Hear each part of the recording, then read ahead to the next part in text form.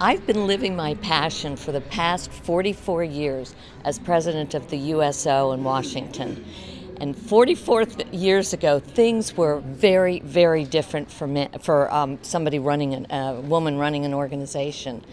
And I look at the room full of women tonight and see how far we have come since I first started out as a woman running my organization. And it was very, very gratifying to see what incredible women are doing today. I was nominated by one of our board members, Dell, and I'm just so excited that they thought so much of our organization, which they support, to nominate me for this award. And that's a big deal because that shows the partnership between companies and a nonprofit like the USO.